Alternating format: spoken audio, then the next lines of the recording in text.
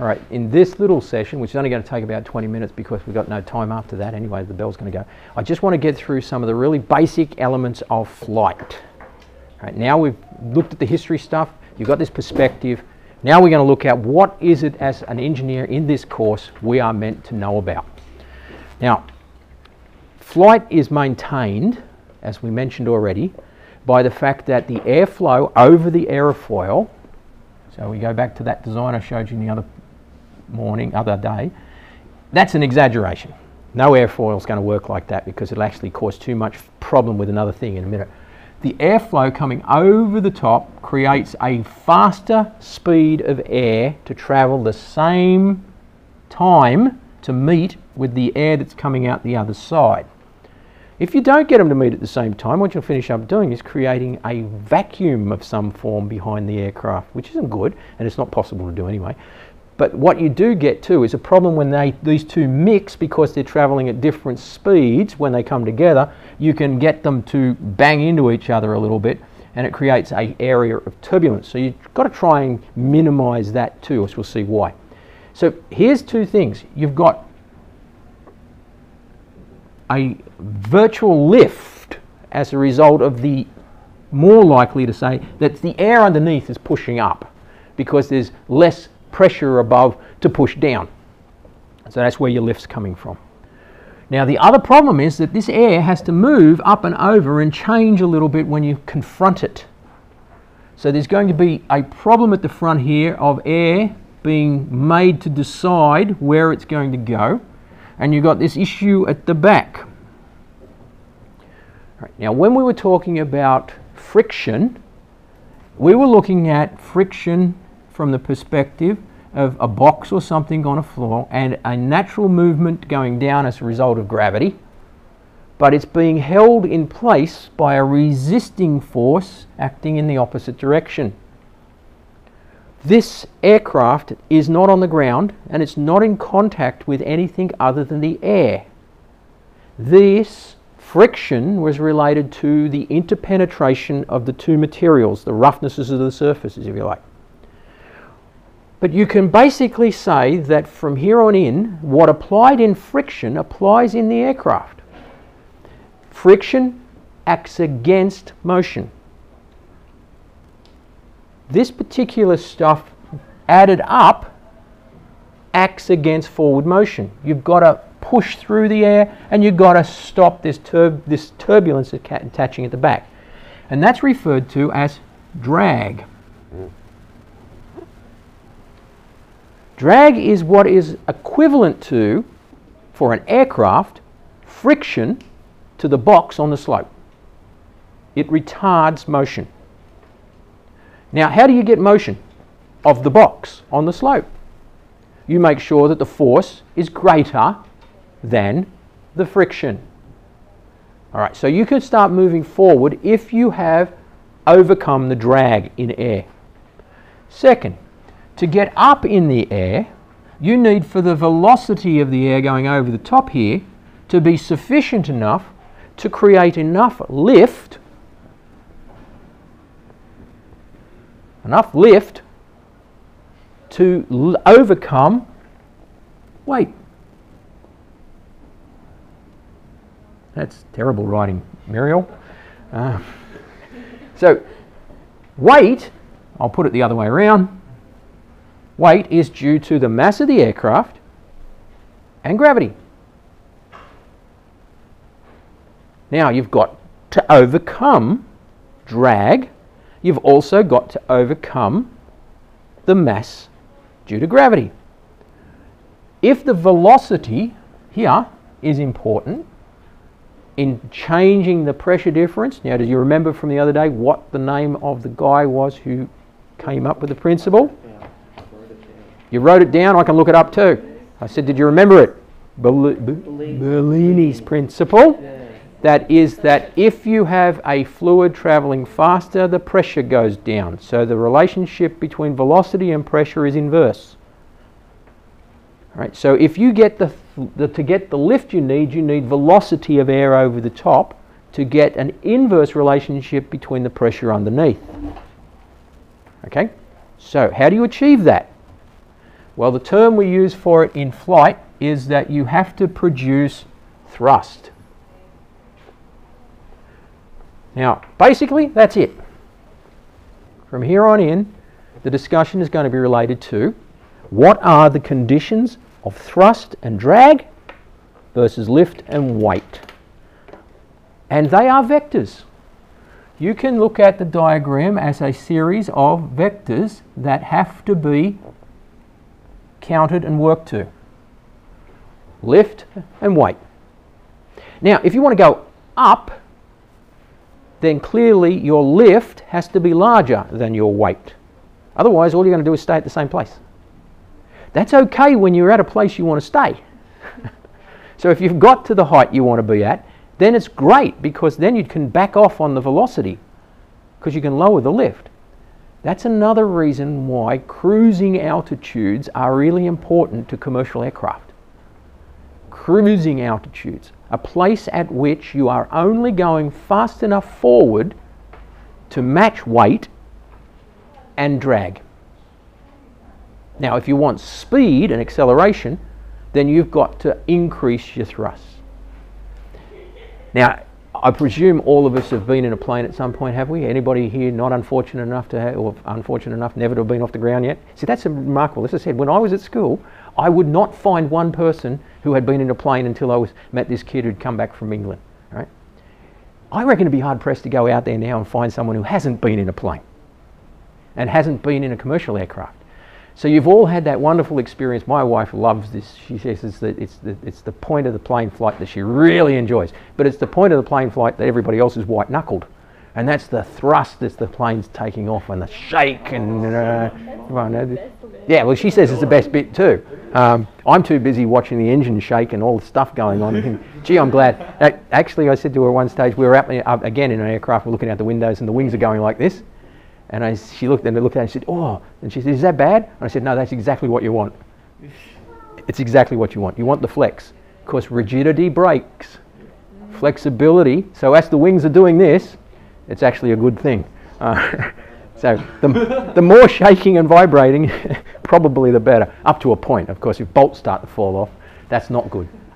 But it's that thrust, you know, that initial get going, and, and it's right from, it's like a drag race. You start from scratch and you go, and then you tear up, and the plane, a couple of times leaving Sydney, you get, you get it just sort of leaves the ground and then just goes up, and, and then banks, you know, and you, before you know it, you've sort of leaped off the ground, and the, and the ants are getting bigger, smaller and smaller and smaller. Um, oh, they're people. No, it's getting further and further away. Right? And very quickly, because the plane is using the, the, the most thrust it can get at the shortest period of time to get to a cruising altitude, and then it'll tip over and sit. And on a, a, trip like the simple ones, like to Sydney to Sydney to Melbourne or Sydney to Brisbane or straight over to New Zealand, you're only going one with one thing. You're just straight up. You're not going. You might have to go around a storm or something sometime, but really it's just straight line. So they get up there and they just turn everything back. You only just need, once you've got the speed, you stay at the speed. You, that, that's something some people can't seem to get their head around too. Remember I talked about motor car driving? When you get on the freeway, right, you get on the freeway and you get up to speed, you're 110, you've accelerated up to it. As long as your engine is overcoming friction and drag, the engine does not have to do any more work. And you get people going, but hang on, you've got to keep going to go fast. You're already going fast. All you're trying to do is stop slowing down. And it's the same with aircraft. Once you get to your flight speed, all you have to do is provide enough thrust to keep going. Overcome drag. Now, if you want to go up, you have to accelerate. If you want to go down, decelerate. Or alternatively, put some things on the wings that will stop the airflow going over the same way, and that will then slow the aircraft down as well. And you can use the combination of the engine. Problem with jet engines, they don't like to go in reverse, not in midair. they can be made to go reverse, but they're not really good. So what they often do, um, they do a reverse thrusting system. So the jet engine's running in one direction. So let's quickly. We, we'll talk more about jet engines in another lesson, but the jet is trying to come through the air here, through the funneling, through the compression out the back. and that's the thrust. But what if, what if you have a system that suddenly puts a baffle down the back here so that the thrust is going up and over? So you just open a couple of flaps at the back of the engine and you can use the engine itself now as a reversing engine. Now you don't want to do that in air. So uh, you just back off on, on, the, on the thrust and make some... The planes would like reverse on the runway, or do they actually have motors in No, there? they, the uh, jet engines don't have motors down on the on the wheels. So what will happen if they're reversing on the runway and it's not using the jet engine? If you look out the window, there's probably a little guy in a little car with a big steel bar attached to the front wheel of the plane doing it. when they land and come up, they come up and they meet these little guys in, in trucks. They put a bar on the front wheel and then they guide them and back them into things. So, yeah. Okay. This is diagram getting too confusing. Let's clear it up a bit. So, lift, you got the thrust, lift, drag, stuff going on here. Right. So, just think in future when you're looking at drag, think about um, friction. Really, same deal. A couple of other things. No, just do this. Get rid of that. Come on. Stay there. Yeah, got it. We're good. Didn't go, didn't go away though.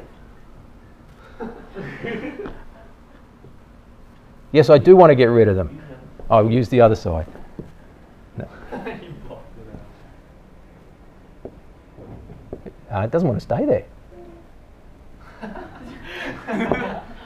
this is turning into a comedy routine for the video. Right, okay. cool. All right, try again. You can do a number of things with the. Funny. Right. The aerofoil can face into the wind or into the direction that you're flying, not into the wind. It's not necessarily wind. We'll talk a little bit about directions too. If you were to tilt the wing up, so there is a change in what's called the angle of attack, what do you think is going to be the result of the airflow? Is it going to be the maximum that you get in level flight? Does it look logical? No. What do you think might be the result?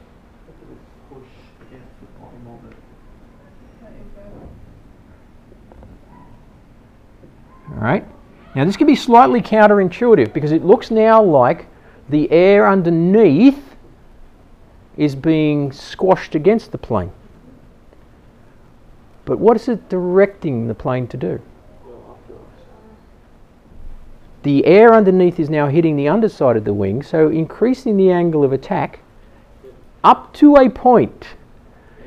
If you go too far, then the airflow over the top has not got fast enough to beat the drag being affected on the plane, and you lose the advantage, and the aircraft stalls.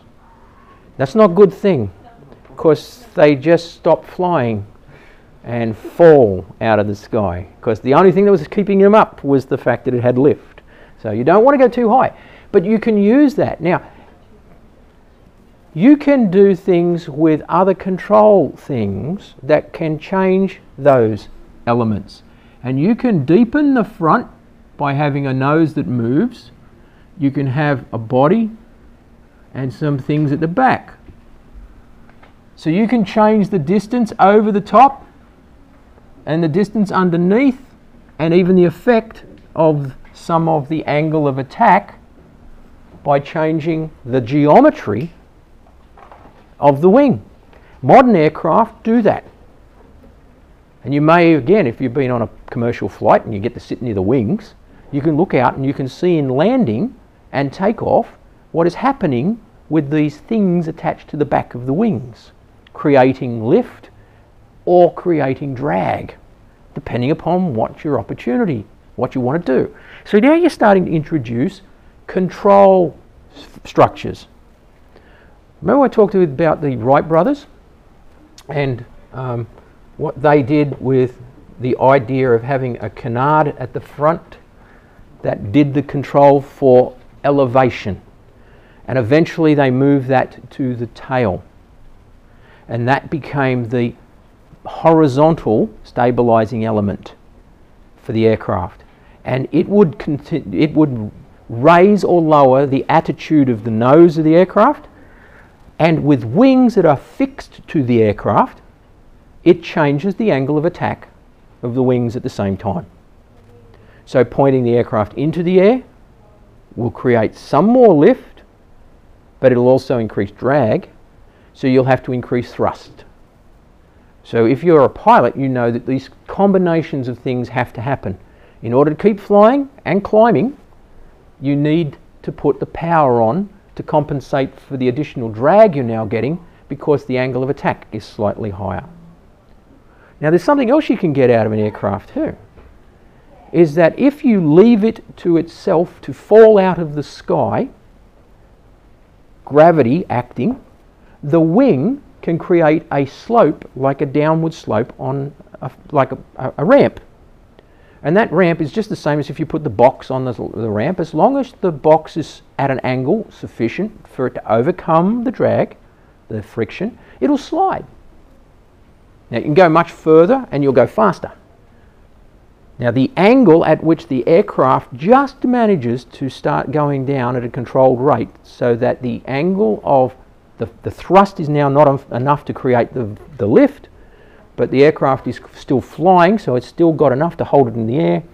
That's the glide angle. Right? Glide angle. Now, glide angles are important too, because glide angles tell you what the aircraft will do if you lost the engine. So you've got no thrust. The only way to keep going forward is to let gravity push you. And it's sort of like using the air as a slope to come down. Now, clearly, if you want to stay in the air the longest time, you want to develop an aircraft wing with a really good glide path. And gliders are designed for that purpose. And guess what? Gliders don't have an engine. They get towed up to altitude and then dropped. They are falling out of the sky. A glider is literally a falling aircraft. It's crashing but it's an extremely well controlled crash. right? However, if you were in some of the modern fighter jets where speed is essential to lift, you lose your speed, they do not fly. That uh, Phantom jet that I talked about, you know, the one that I said was America's proof to the world with a big enough engine and a brick will fly, turn the engine off and it's a brick. It, doesn't, it doesn't fly. Um, glide path then for that is you have to point the nose down and get your acceleration up by flying straight at the ground and then hopefully you've got enough speed to pull up at the end. Do you know what other aircraft lands like that? And it's hardly an aircraft sometimes. Most of the time it doesn't operate as an aircraft. But it relies on falling out of the sky and generating lift. The space shuttle. When it comes back to Earth, it falls at a rapid rate. Once it's got through the area where it's ionizing under the, the pressure underneath, now, what I, um, I mentioned a minute ago, something we often talk about that we, we talk about wrongly terminal velocity. All right, terminal velocity is the speed at which you are using gravity to fall, but you can't go any faster, you can't accelerate because the stuff you're flowing through or falling through isn't getting out of the road fast enough and it limits the acceleration. So the shape of the aircraft and the fall could determine what velocity you can reach just using gravity as an accelerator. So your thrust is coming from your own mass in the gravitational field. Right? Terminal velocity for most people, you know, like falling out of an aircraft or something, is going to be based on what shape you put yourself into. Um, you've probably seen uh, photographs of people who jump out of aircraft with those wing things on and do the flying part, right? So that sort of thing is using the terminal velocity to slow it down by getting air to rush out from underneath you. Um, how fast can it get? A, a bullet has a nose on the front of it, so it doesn't have to push through the air as much.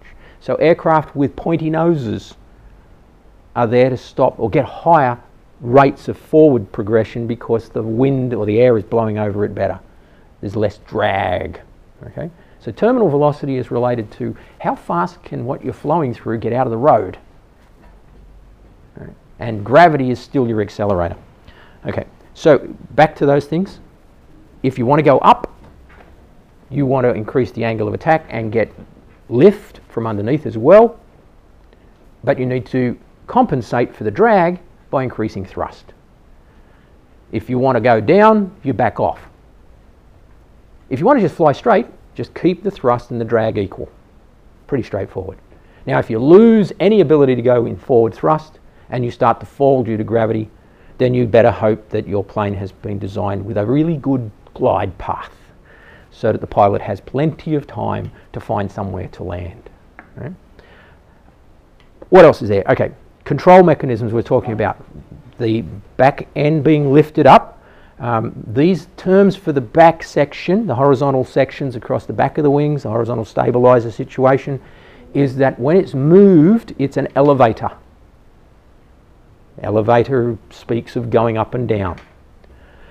You'll also have some things along the wings called ailerons that can help with another thing you want to do sometimes, which is to move the aircraft in a different attitude. Now, probably should talk about the attitudes very quickly. There are three axes when you're flying. There's the axis straight down the nose of the plane. And if you were to turn around on that axis, so let's do a stick figure aircraft, right? Stick figure aircraft. If you wanted to turn around the axis that is the middle one, this line here, that's termed roll. So you're rolling the aircraft like a victory roll thing they talk about in some of the movies, war movies and stuff. If you want the aircraft to go from looking at it sideways, so you've got the wings here, and you want it to go up, then you're actually pitching on a axis that runs through the wing, that axis there. And that's called pitch. Pitching up, pitching down, pitching up, pitching down. So you've got roll, pitching up and pitching down.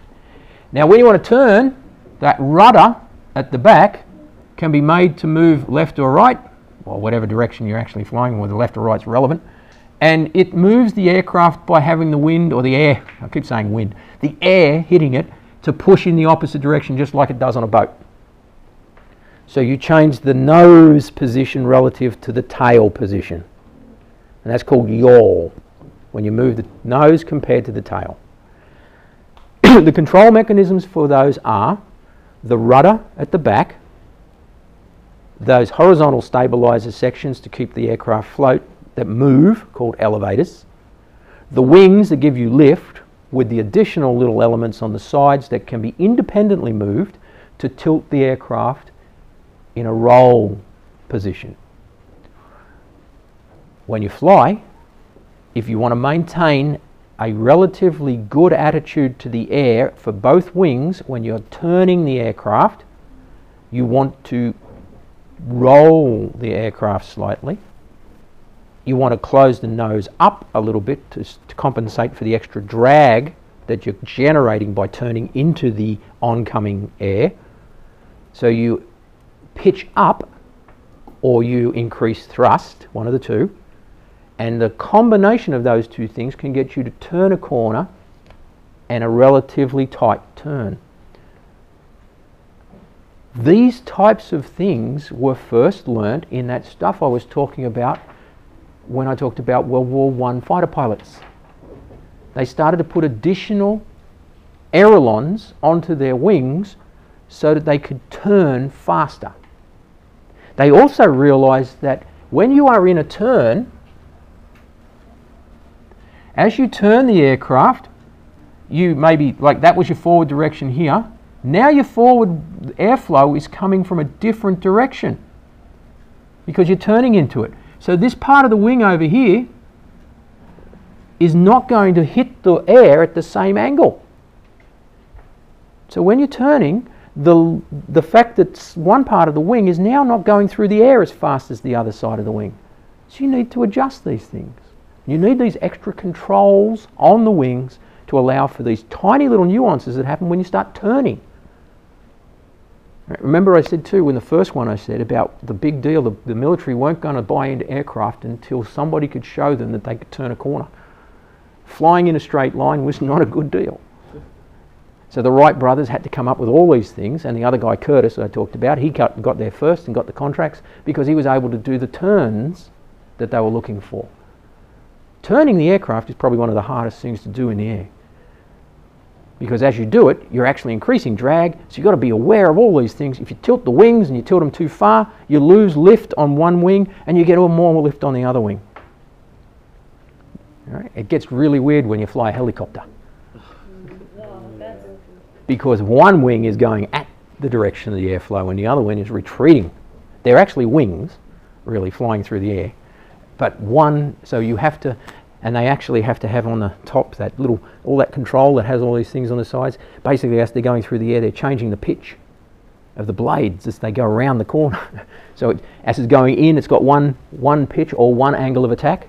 And when it's retreating on the other side, it changes the angle of attack to compensate.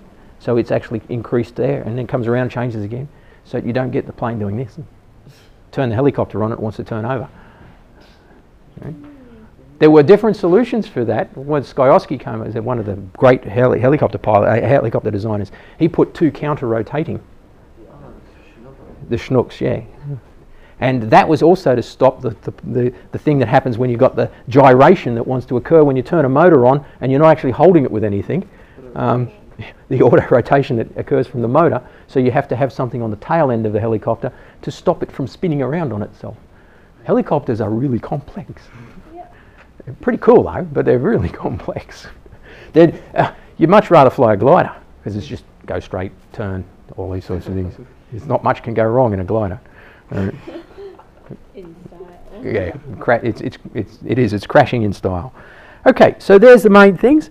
Now, how we're going to use these in the next few weeks is we're going to be looking at problems involving how you might use the forces that are at act and work out calculations related to what do I need to have in terms of thrust if I want a certain lift coefficient.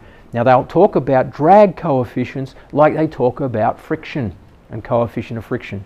It's nothing more than making the numbers add up and it's nothing more than all the horizontal components involved have to, um, well, if you, if you don't want motion forward and you want it to just stay where it is, not that that's happening, impossible with an airplane, you must have some airflow over the wings to get the lift. So you've always got to be moving forward in an aircraft. They don't tend to fly if you don't. So, um, yeah, like sharks apparently. Yeah, you have to have to have airflow through the lungs so they don't breathe. So there will be some calculations to do anyway. So they're the big deals. Um, I think that's about it for today. As I said, that was only just a brief introduction. There's a whole lot of notes in the in the books um, that you've got here in the textbook stuff on all our, how you can have positive and negative camber, uh, the relationship between chord length. Um, so when we looked at that aerofoil, the distance along the, the often there's a little bit of something underneath, whether it's got negative camber or positive camber. Um, that length from there compared to this has some features that make a difference to the lift coefficients and calculating those. But we'll, we'll look at those at another time. But if you started to read through it, so Bernoulli's principle we've looked at, lift and drag weight, all good, aerofoil shapes, structural integrities and stuff like that. Um, the other thing you'll find too, as you look through it, you can see that um, the structure of the aircraft is uh, particularly the wings are often talked about as cantilevers. Um, so, you know, just trying to bring in beams into it. And the biggie is going to be jet engines when we get to jet engines and stuff. Okay. A couple of other things that will come up as we go is some really interesting questions like how do you tell how fast you're going? How do you tell how fast you're going in a, in a, in a car? And the meter is controlled by what? The wheel rotation. Wheel rotation. So, So propeller rotation. no, that wouldn't work, would it? No. So there's an interesting problem. How do you know how fast you? Why do you want to know how fast you're going? Because don't want to break the law. Oh, what in an aircraft? yeah, don't want to speed. No, no. All right, you're flying from one place to another, and it's night time, and you can't actually see anything to take bearings off and such. Which is why in the early times of flight you didn't fly at night, because if you didn't have any of this, you didn't know where you were. So, yeah. So if you're flying high, you want to know how far you've flown in the time you've been in the air. So you do need to know how fast you're going. Right, now, that's an interesting question because you can't just stick a wheel out and run along the ground. All right? That's not going to work. The other one, how do you know how high you are? They have an al- altimeter. Yes, they do. But how do they work? So we'll be looking at those. Some interesting things in there have solving problems related to things that you never had. These problems didn't exist until people started flying. All right, how far up are you? That's usually the case. Yeah, that's reasonably the case. Yeah, I'll give you a clue. You, you personally, as a human being, have one of these in you as a natural consequence of who you are, and that is the middle ear. And in the middle ear, you've got a pressurizing element, and you all know that you can tell that you've gone up a mountain because you go, oh, what's that? Pop. Yeah, or blow your nose. Same for divers when they go down. So you can get a clue from that that height is going to be related to pressure.